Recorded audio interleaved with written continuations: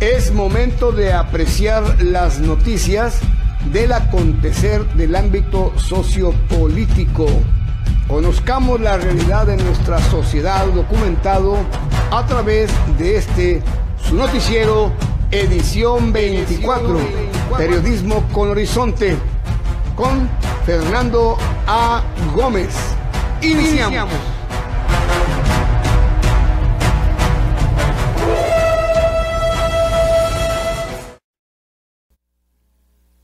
Amigos, me da mucho gusto saludarles. Tengan ustedes una excelente tarde desde Baja California, Mexicali. Estamos, pero ahora sí llenos de información, situaciones de veras increíbles. Vamos a platicarles sobre la muerte de Daniel Castro, un periodista que hay por ahí un, video medio tremendo. Tenemos lo que es la hepatitis en Estados Unidos. Caramba, está fuerte allá en California. No solamente los incendios, que ya llegaron a 40 muertos también tenemos lo de Ramón Escasorena, que le dice mentiroso al gobernador del estado. Y le vamos a decir por qué. Y la verdad, esto tiene que investigarse porque ya basta, basta de mentiras. Otro caso inconcebible, Castor Cosmopolitan es una empresa que atiende cárceles a nivel nacional. Tiene dos empresas, se llama CEDEL eh, forma parte de la corporación Cosmos, Cosmos, aglutina a Cosmopolitan y a Cosmopolitan de Polanco. Esta empresa en el 2014, 1914, fue multada con un millón quinientos mil pesos de aquella época porque en una cárcel federal intoxicaron a 400 personas con los alimentos. ¿Saben una cosa? ¿Quién le da la comida a los, a los presos aquí en Baja California? Esta empresa. El gobierno la contrató. Imagínense nada más. Todo es negocio, ¿eh? todo lo que estamos viendo ya es negocio. Sí, eh, les quiero comentar que la licitación de eh, el DIF de Guerrero también se dio en febrero del 2017 la licitación para este tipo de empresa y pues ya se de imaginar qué onda. Queman vivo en su camioneta a Rafael Hernández Acevedo del PRD allá en Guerrero. Y el señor Gamboa, Gamboa, senador Emilio Gamboa, senador de la República, llega a jugar golf en un helicóptero, sí, con el señor presidente de la República. ¿Y el helicóptero de quién creen que era? De la Marina. Bueno, amigos, tenemos mucho. Vamos a hablar sobre la chica de hoy y el meme del día. Regresamos. Regresamos después de esta pausa de inicio del programa. Gracias.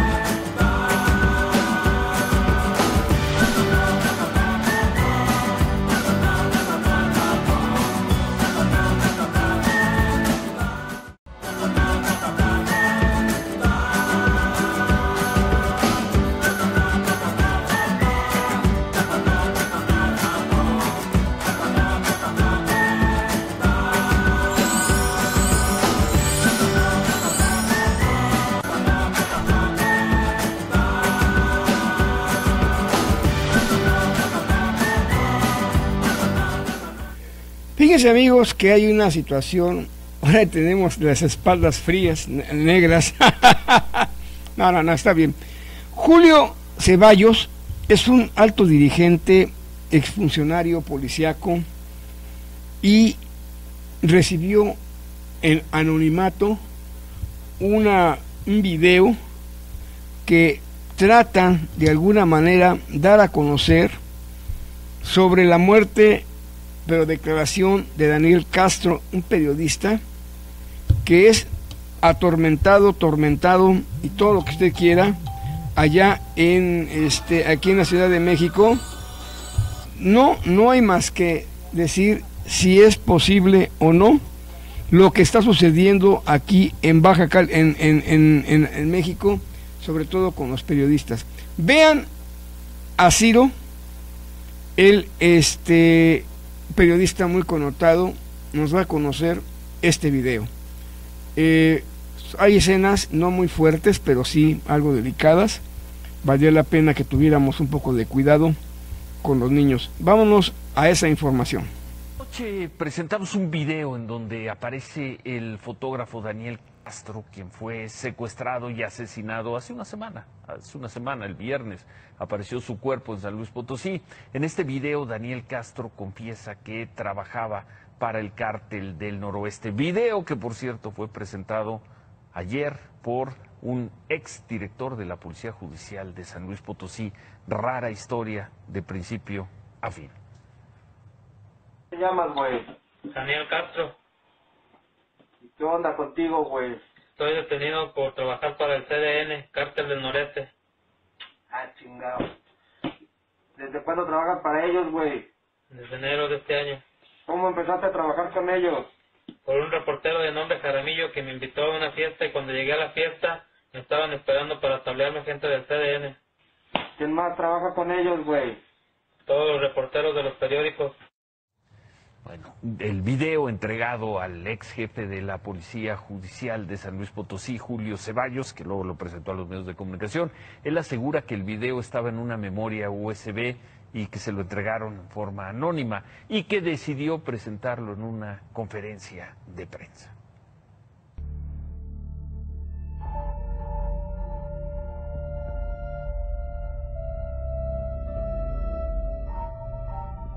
El video donde aparece Daniel Castro confesando su vínculo con el cártel de Noreste habría sido entregado de manera anónima al ex jefe de la Policía Judicial de San Luis Potosí, Julio Ceballos, quien desde el asesinato aseguró que él seguiría su propia investigación del caso. Algunas fotografías de los últimos crímenes en San Luis Potosí, en la capital potosina, ¿quién era el que lleva primero? Daniel. Y él las, y él las publicaba. Entonces yo pienso que esa fue la razón. No que esté implicado. En las ejecuciones últimas que han hecho, güey, ¿qué sabes de esas ejecuciones, güey? ¿Quién las manda, güey? ¿Quién da la orden de hacerlas, güey? Eso no lo sé, eso lo sabe Jaramillo, yo solo recibo órdenes de ir a tomar fotos. Y él es el que te da las órdenes inmediatas. ¿Qué te dice cuando te da? Que me tengo que presentar a un lugar a tomar fotos de ese accidente y que tengo que poner la nota que él me va a mandar. Ayer el video fue presentado ante los medios de comunicación por el exjudicial, quien aseguró que sería entregado a las autoridades para que se amplíe la investigación sobre el asesinato del fotoreportero de Vox Populi. ¿Esto implica? ¿Qué implica? No responsabilidades para los que él está señalando, no. Pero eso son líneas de investigación. La Comisión Estatal de Derechos Humanos de San Luis Potosí adelantó que prepara un informe especial sobre el asesinato de Daniel Castro. Además, condenó la presentación y la reproducción del video, ya que según la comisión se revictimiza al periodista y a su familia.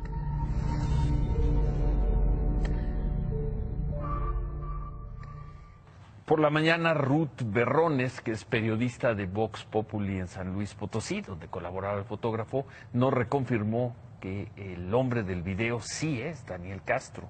Nos dijo también que según fuentes estatales, en la autopsia se reveló que Daniel fue torturado antes de ser asesinado. En el video, sin embargo, en ningún momento se ve que alguien le esté dictando a Daniel lo que tiene que decir. Daniel Castro, pues como lo vimos, afirma que policías y reporteros del Estado trabajan para un cártel del crimen. Menciona a un reportero, Armando Castro, y a un periodista conocido como el condenadito del Sol de San Luis, a los reporteros Daniel Ibarra de la Nota Roja y a Martín Fabián de Código de San Luis Potosí. También nombra a tres reporteros del Pulso de San Luis, a quien identifica con apodos. Imagen Noticias confirmó que se trata de Guillermo Briones, Gabriel Ramos y Miguel Jaramillo. Jaramillo es acusado en el video de ser el vínculo entre el cártel del noreste y el resto de los periodistas. En realidad, ¿cuál es la función que quieren, güey, o que desempeñen con ellos? Que nosotros les estemos subiendo notas a su gusto, que se, que se ponga lo que ellos dicen y no lo que uno tiene que poner, que se cubran todos sus eventos, todos los, los siniestros que hacen. El 20 de julio, Daniel Castro solicitó apoyo al mecanismo de protección de periodistas de la Secretaría de Gobernación. porque dijo que lo habían amenazado en dos ocasiones, que lo habían amenazado policías ministeriales de San Luis Potosí. Sin embargo, cuatro días después retiró su petición porque ya no había más amenazas. Por cierto, hoy los tres reporteros del Pulso de San Luis que son mencionados en el video, Guillermo Briones, Gabriel Ramos y Miguel Jaramillo, ya pidieron la protección a este mecanismo. Mañana este medio va a publicar en su columna principal su posición sobre el señalamiento a los tres reporteros. Imagen Noticias con Ciro Gómez Leiva, lunes a viernes. Pues amigos, es aquí la situación que está prevaleciendo eh, en México con los periodistas. Este video, pues lo podemos decir que es cuestionable. Es cuestionable porque, pues ya hay eh, esos mismos periodistas ya, ya se levantaron en voz, los que están acusados aparentemente por este Daniel. Las mismas empresas están levantando la voz, van a, van a, a, posesionarse sobre la situación que se vive. Lo que sí les puedo decir que la situación es muy, muy delicada. No sé qué esté pasando, no sé qué vaya a pasar, pero es muy delicada porque ya se están manejando cosas gravísimas, gravísimas. Pues les informo que nuestro compañero José Trinidad, miren, se está cayendo esto, bueno, ya no sé qué, se cayó un mantel. José Trinidad anda ocupado, hoy no pudo estar con nosotros, iba a estar, nada más que le salieron por ahí algunas eh, instancias, algunos problemas delicados y no pudo estar con nosotros. Pero pronto, pronto lo tendremos aquí en edición 24. Vámonos este, a una pausa comercial y regresamos.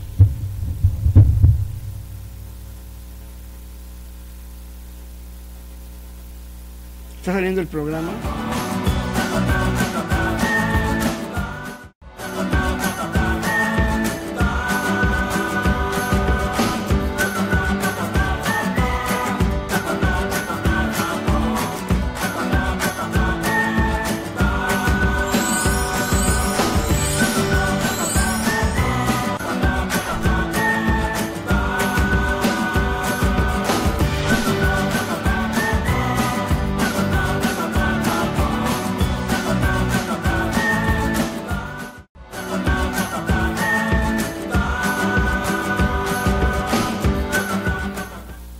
Amigos, mira, este, tenemos un compañero, el señor Ojeda, Juan Ojeda, estimo mucho, lo conozco ya de muchos años, tenemos buena amistad, pero muchos años, allá en Tijuana.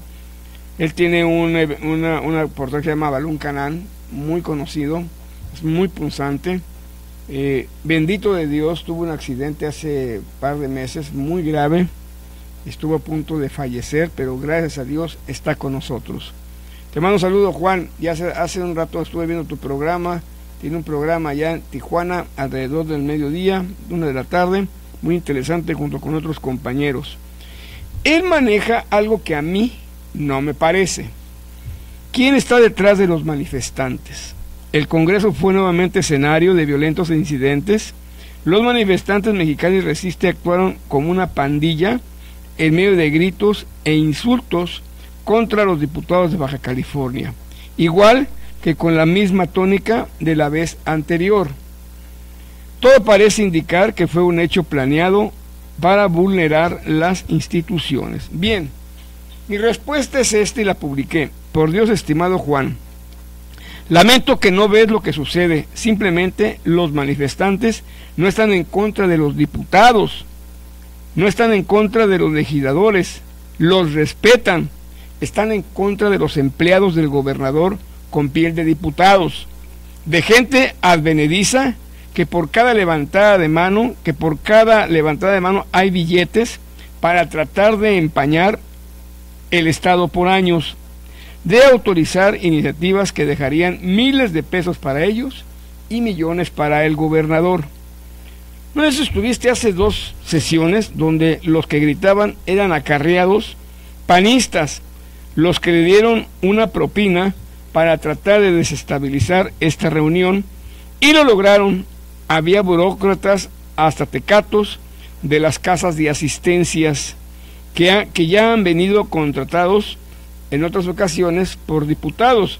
Hay fotografías y que en algún momento tomaron las instalaciones agrediendo a otros pseudo legisladores del PRI.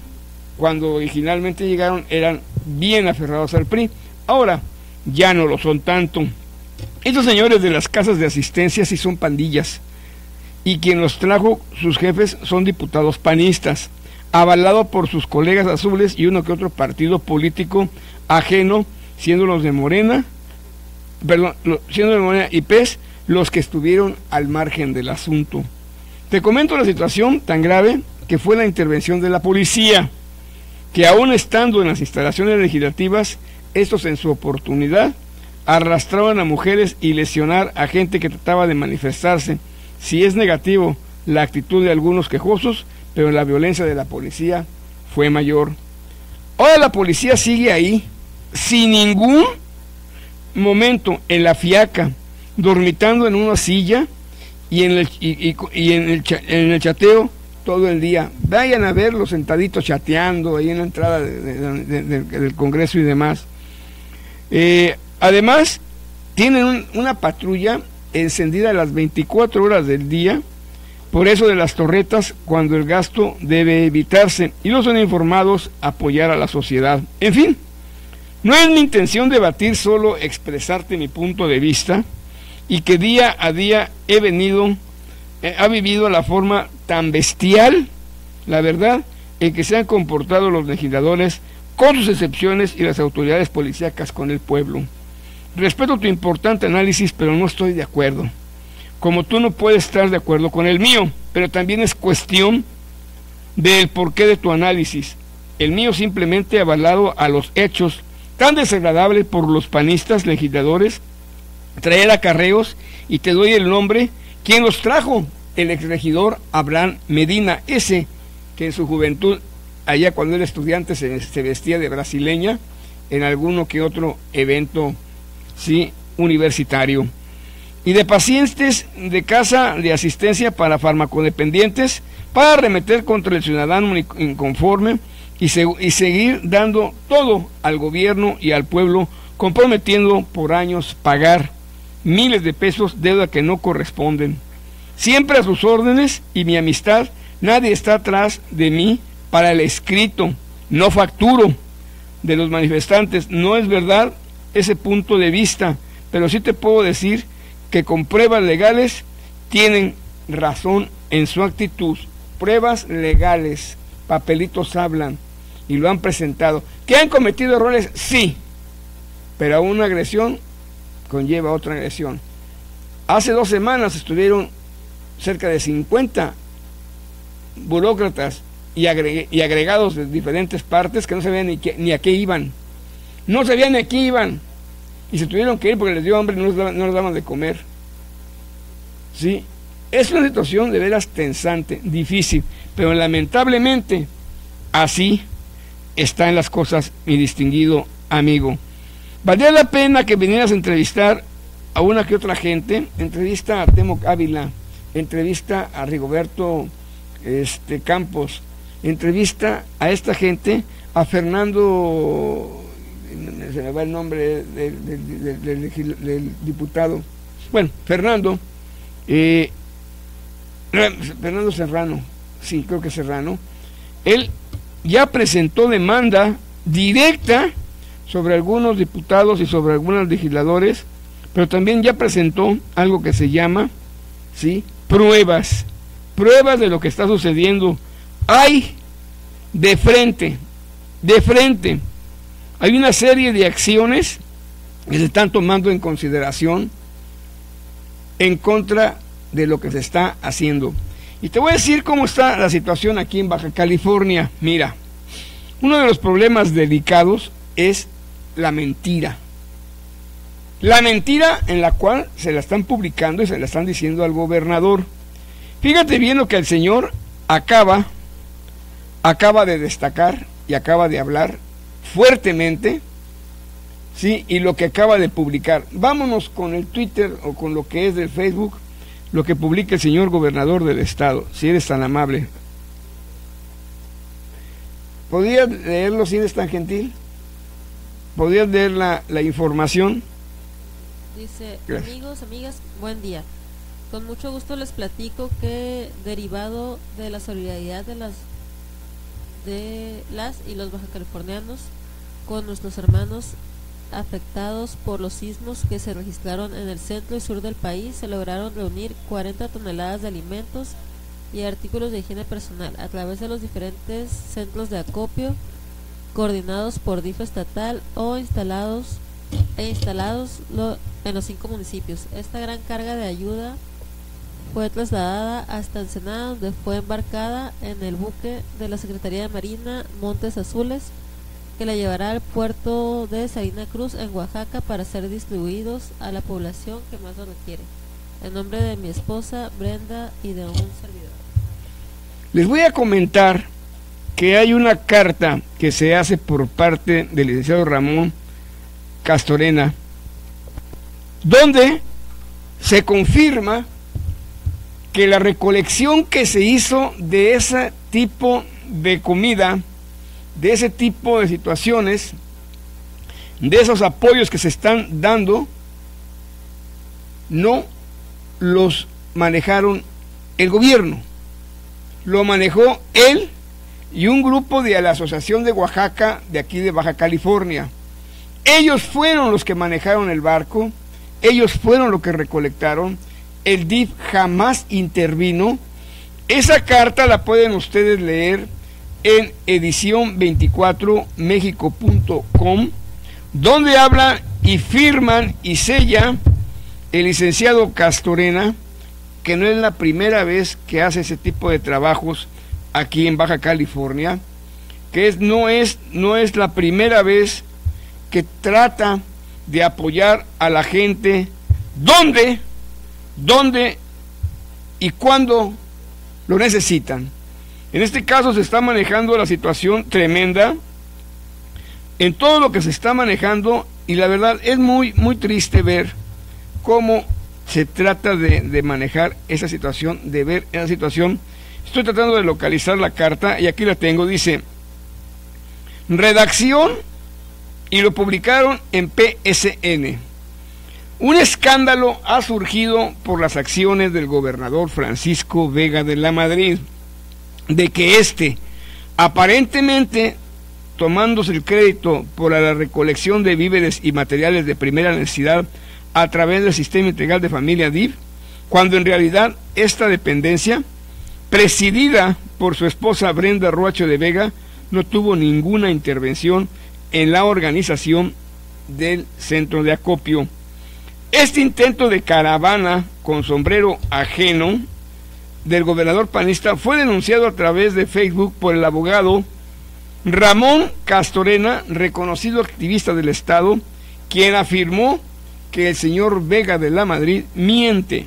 En su comunicado, puesto que fue el mismo Castorena quien, en conjunto con el Centro de Acopio del Secut y el gobierno del Estado de Oaxaca, consiguió el barco de la Secretaría de Marina así como aseverar que en ningún momento hubo un contacto con el DIF para organizar o minimizar contribuir a los centros de acopio.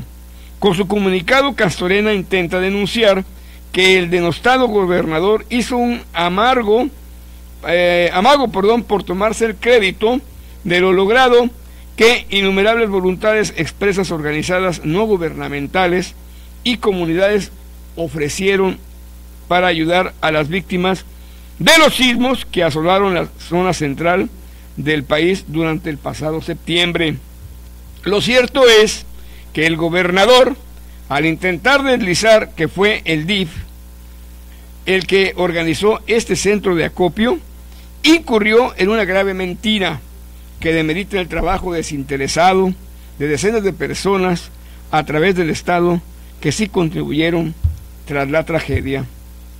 Este intento de caravana con sombrero ajeno, el gobernador panista fue denunciado a través de Facebook por el, reconocido abogado, eh, quien pues realmente vuelve y habla fuerte sobre este asunto. Amigos, esto es lo que está sucediendo en nuestro estado y tenemos otra, otra situación que sí realmente lastima, lastima, porque hay que tener cuidado cómo se hacen estas cosas, qué está pasando ¿por qué tanto problema, por qué tanta situación aquí en Baja California ante situaciones tan lamentables? Y les voy a comentar de qué se trata. Eh, hay, una hay un problema un plato cuanto delicado donde en Baja California se dan pues una gran cantidad de comida en los centros penitenciarios. Bien, en Baja California hay una empresa, Cosmopolitan, que pertenece a Cosmos, Cosmos que tiene dos, eh, dos corporativos, Cosmopolitan y Cosmopolitan de Polanco. ¿Cuál es el problema que radica aquí? No es que sean malos o sean buenos. Les quiero decir que en el 2016 hubo una licitación con el DIF de Guerrero donde esta empresa pues la ganó, la ganó, tuvo la suerte de ganarla afortunadamente para ellos, pero desgraciadamente, desgraciadamente en el tiempo que corre, estas personas dan de comer a un centro penitenciario federal allá y provocan el malestar, la infección de 400 personas. Algo delicado. Esta empresa fue multada, obviamente, con mil, un millón quinientos mil pesos y no sé, no, no, no, hemos podido investigar todavía esto, sucedió hace unos momentos, no hemos podido ver si realmente esta empresa de alguna manera trató o continúa ahí. Pero les voy a comentar una cosa. Alberto Peña nos saluda, gracias por ver el programa y Trini, no, no se fue, tuvo un compromiso y estará aquí mañana si Dios lo permite. Y bueno, y también si Él lo permite. La situación que prevalece con, este, con esta empresa Cosmopolitan en lo que es eh, en Baja California es que ellos están dando la comida aquí. Están dando la comida aquí. No sé cómo llegaron a esto, porque no se sabía ni se ha sabido. Y les quiero comentar que estas personas este, este tremendo, tremenda empresa tiene un, una economía, pero de veras. Ellos dan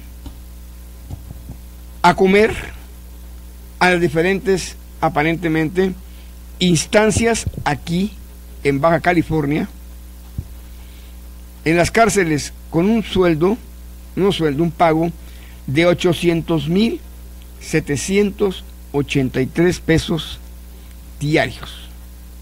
Diarios. Que equivale a 293 millones al año. Esta es la cantidad que se da. ¿Se ha garantizado la seguridad después de que cayeron en ese error? ¿Antecedentes?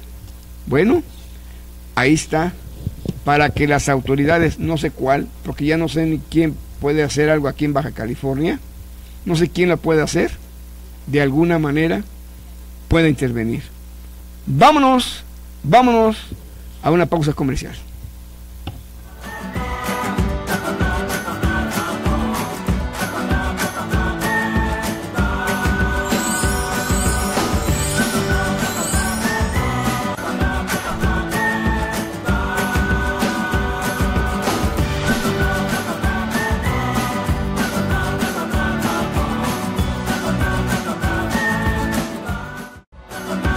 Bien amigos, regresando con esto, quiero manifestarles que tenemos eh, un hay un problema muy delicado, muy, pero muy delicado. En Guerrero siguen las violencias espantosas, muy fuertes, dada, y pues fue quemado en su camioneta con su familia, el ex, así se le puede llamar, el ex dirigente del PRD, el señor Ranferi Hernández Acevedo, Esta es la camioneta donde viajaba. Vea nada más cómo quedó. O cómo está quedando. ¿Sí? Algo realmente, pues no podemos nosotros decir, o podemos manejar, ¿sí? No podemos manejar nosotros si es bueno, es malo, es regular. No sé si, si podríamos calificar esto porque no tiene calificativo. A veces como periodistas no sabemos qué decir ante esta barbarie, esta bestialidad, esta estupidez, ¿sí? De que la política tenga tantos, tantas salidas negativas, tantas líneas espantosas, pero lo que más importante que te puedo decir, les puedo decir, es que tiene una actividad difícil, como dicen, difícil de creer. Difícil de creer como lo que acaba de suceder aquí en, en, este, en Tijuana, algo realmente macabro. Yo tengo, hay un muchacho de 16 años que se mete de, de narcomenudista.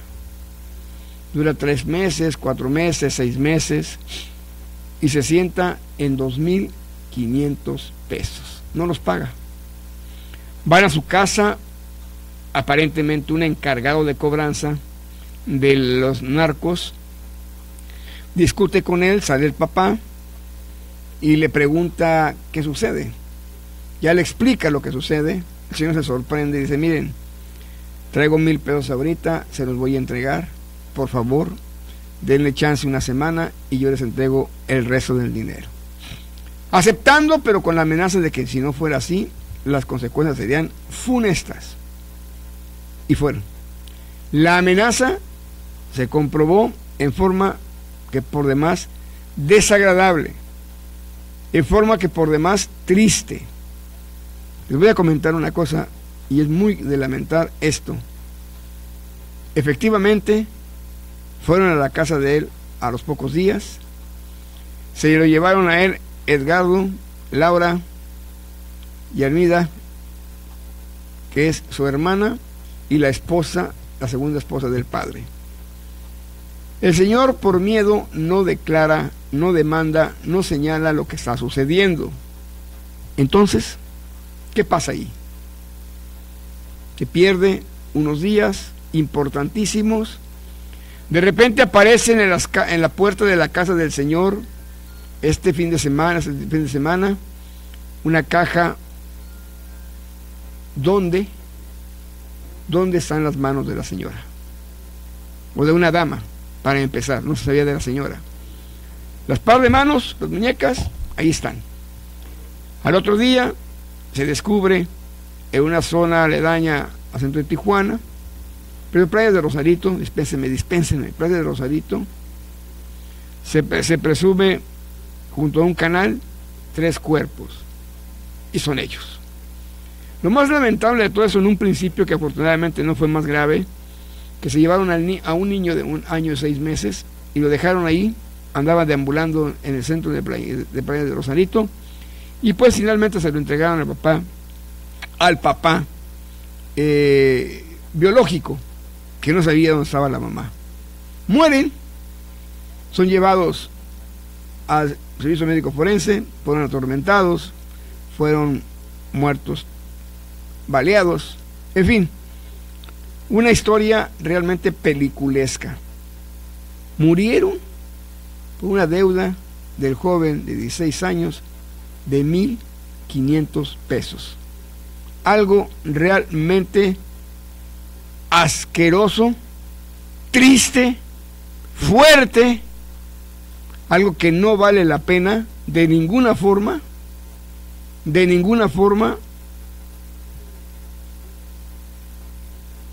manejarlo como una casualidad, sino lo que está sucediendo ya en el ámbito delictivo aquí en Baja California y en otras partes del país, donde la mafia ya no tiene consideración, no tiene miedo, no tiene precaución Ya no les importa llegar, cobrar y si no te llevo y te mato.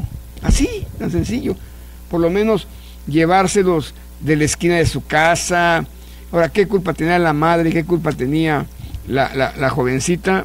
Pues son mensajes muy directos para los trabajadores y para los mismos narcotraficantes que no están jugando. Van con todo. Algo realmente espantoso. Horrible. ¿Qué va a pasar? Vuelvo a repetirles. Yo, Fernando Gómez, no lo sé. No sé qué vaya a pasar ni qué esté sucediendo, pero la cosa no es fácil. Les quiero comentar, vámonos a otra información, después tan triste, tan triste. Miren,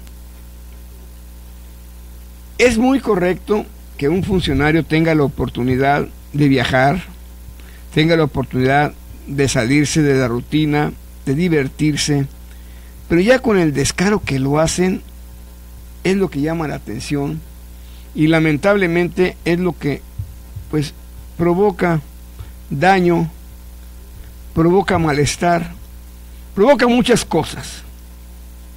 Lo único que les quiero comentar es que ayer, parece que este fin de semana, el señor Emilio Gamboa fue a jugar, fue a jugar golf con el señor presidente de la República, según iban a tratar asuntos de política, y después echaron una caminadita, como dice él, estuvieron eh, manejando información pocos minutos, un recadito, dos recaditos, hicieron la pantomima y se fueron a jugar golf.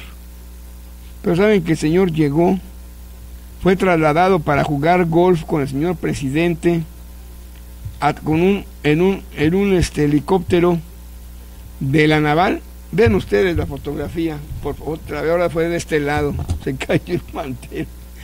Ay, Dios mío. Veamos la fotografía de ese lado. Por favor, ¿dónde está el señor Emilio Gamboa llegando al campo? Sí, está ahí. Bueno, no tenemos esa, esa, esa, lamentablemente, pero está llegando en un helicóptero con el señor presidente de la República y la verdad da tristeza saber cómo se están manejando esta situación. Vámonos a la pausa comercial y regresamos.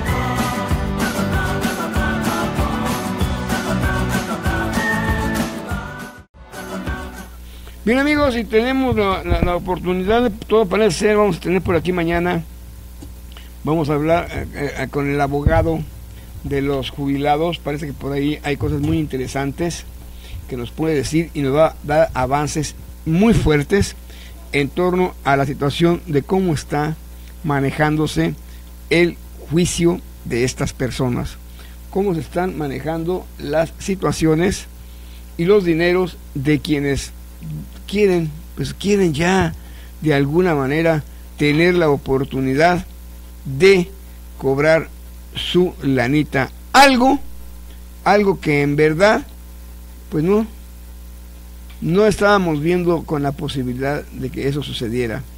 ¿Sí? Otro de los aspectos que también, fíjense que ha salido ya mucho reclamo, el hecho de que para quién es la seguridad. Se compran patrullas, perdón, se rentan patrullas, se rentan este, eh, pues una serie de, vehículos, tanto camionetas como, como, como lo que son carros de último modelo, camionetas únicas que no hay en todo el país. Y la verdad, da mucha tristeza ver cómo estas patrullas están siendo utilizadas para apoyos a funcionarios y apoyos en este caso, aquí afuera del Congreso hay unas patrullas que todo el día están prendidas, porque la torreta debe estar, debe estar activada. Y ven ustedes unas fotografías, vean, ahí está. Arriba están los que, bien cuidados, vean nomás qué camionetas. Vean nomás personal a lo bestia. Y abajo si nos puedes leer, si eres tan amable, este Natalia, lo que dice. Pues para nosotros esto de la inseguridad es tema político, porque nosotros nos vemos, no vemos los índices de inseguridad tan altos como dicen algunos que hay. Pues ahí dicen amigos, ¿ustedes qué opinan al respecto? ¿Qué opinan al respecto? Simple y sencillamente, ¿te gustaría estar a cuidar así, mi distinguida Natalia? ¿Sí? Llegar a tu casa, llegar a donde, a donde realmente vale la pena estar, estar, estar con tu gente y, y afuera cuatro o cinco tipos con un tremendo camionetón cuidándote. No, pues así ni, ni me preocupo de mi carro, de que le vayan a robar la pila o que me vayan a saltar a mí, siempre rodeada de alguien. Pues sí, bueno, y, y lo que menos podrían robarte con esas camionetas es la pila, ¿no? Bien, oigan, ¿qué creen? Hubo en, en, México un programa de televisión, de esos de tele, tele, Televisca, donde, creo que se llama Hoy, donde el burro Van Ranking y el señor Derbez, el hijo de Eugenio Derbez, sacaron a relucir su vida sentimental. Hablaron, pero no hablaron mucho, actuaron. Vean lo que hicieron. Semejante besote. ¿Cómo ven, mi distinguida Natalia? Es el hijo de Derbez y el burro. O sea, ahí, por ejemplo, se dio un besito así, patorrito. Pero vean nomás cómo el señor Derbez agarra al burro y el otro lo abraza. Esto ya son porquerías. Porquerías. Además, yo creo que son imágenes que en la televisión y en un horario, en un horario matutino, pues no deben pasar, ¿o sí? ¿Pero se dieron el beso a propósito? Empeza, empezaron a jugar. Luego el burro le hizo una caricia, vacilando, y el otro sí se le fue encima. Ah, el hijo de Eugenio Derbez. Sí, pero, pero una cosa. Pero el otro no se, no se alejó ni se echó para atrás. A mí es infeliz, se me acerca y me quiere hacer eso, le pongo un madrazo. Reaccionaste, Quítate. ¿De qué se trata? ¿A qué estamos, a qué estamos viviendo? ¿A qué estamos manejando? Ya, ya, ya, ya, ya pasamos las fotografías de, de la hepatitis.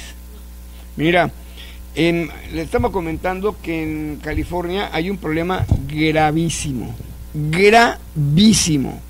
Y no es otro que lo que son los incendios, que no están imparables, aún no se puede atender. Han ganado terreno los bomberos, pero el problema está que desde noviembre pasado se inició una pequeña, un pequeño brote de hepatitis.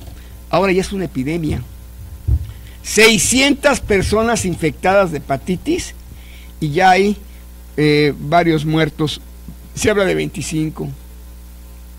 El problema es muy grave, pero no, hacen, no, no están manejando, creo, la solución al respecto.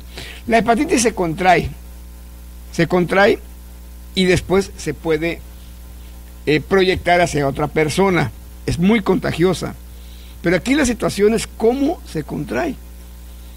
Hablan de que son eh, gente indigente, principalmente la que está afectada, porque no tienen higiene. Es higiene lo que se requiere en sus manos, eh, es eh, un alimento sano. El problema es de que están, al parecer, han comido alimento contaminado, pero se habla que porque son indigentes es a propósito. Esto es cuestionable, ¿eh? pero la verdad sí hay que tomarlo en consideración. El problema de donde está el, el, índice, el índice de afectados está en una zona cerca de San Diego, en otra de Los Ángeles, donde hay un jardines, hay jardines que tienen sanitarios. Nada más que los sanitarios se utilizan, se han abierto de las 7 de la mañana a las 9 de la noche, no toda la noche. Y los, y los indigentes, pues es la hora que podrían ir, porque en la mañana andan solicitando apoyos económicos. Aquí lo que se tiene que hacer inmediatamente es abrirlos las 24 horas y darles, eh, atenderlos, apoyarlos y exigirles que se, se, que se y revisar de cierta manera el alimento que comen, que tengan cuidado. Esto, vuelvo a repetir, no es nada agradable ver todo lo que está sucediendo, no es nada agradable ver lo que va a pasar porque si de esto continúa, imagínense. Ahora, no se habla mucho al respecto y no se ha dado un posicionamiento por parte del gobierno de Baja California, específicamente del Ayuntamiento de Tijuana, que está cerquita de ese asunto. No se, no se han posesionado, no han dado una posición de lo que se puede hacer al respecto. Y nadie lo toma en cuenta. ¿Cuánta gente viene del otro lado de Tijuana y trae y podría traer la hepatitis A, que es muy peligrosa? He ahí lo que, lo que puede suceder. Hay que tener mucho, pero mucho cuidado al respecto. Vamos a la pausa comercial y regresamos para ver los memes y la chica de hoy. No se lo pierda. Señora, le chance a su marido, ¿sí? Gracias.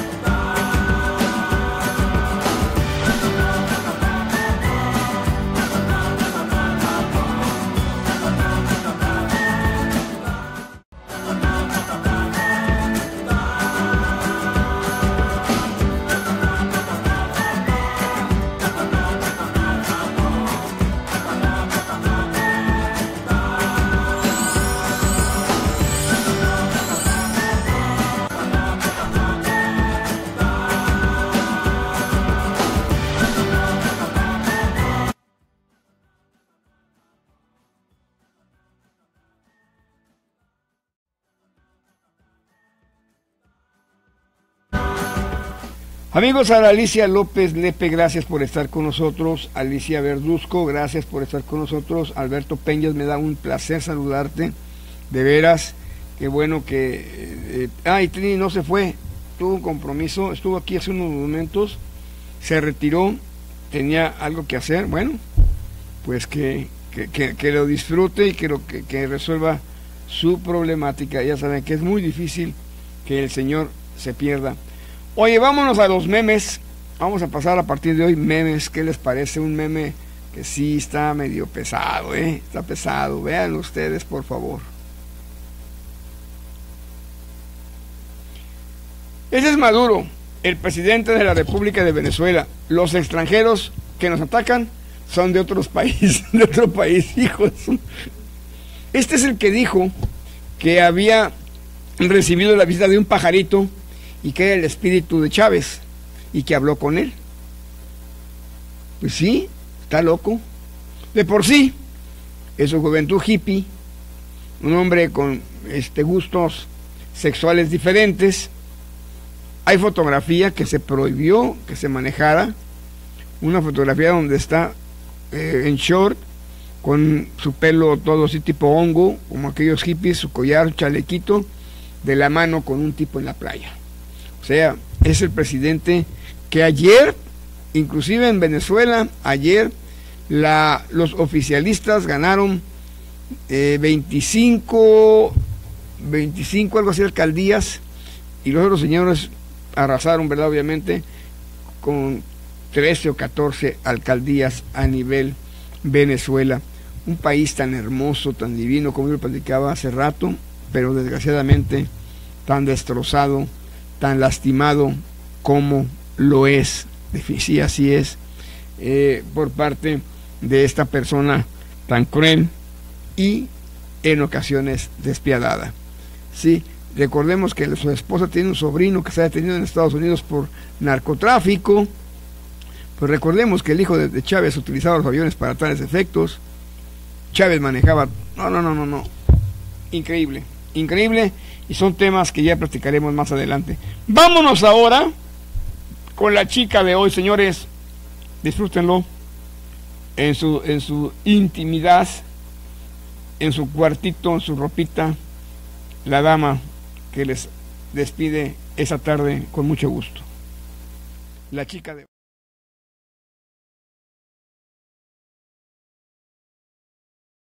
Buenas tardes, muy buenas tardes, nos vemos, claro, esta mañana, si Dios lo permite, y mis enemigos también, y con el gusto, con el gusto de que esté eh, José Trinidad.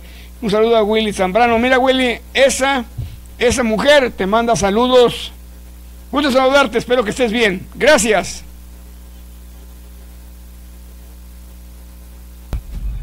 Por hoy concluye esta emisión. Acaba de apreciar las noticias del acontecer del ámbito sociopolítico. Conocimos la realidad de nuestra sociedad documentada a través de su programa noticioso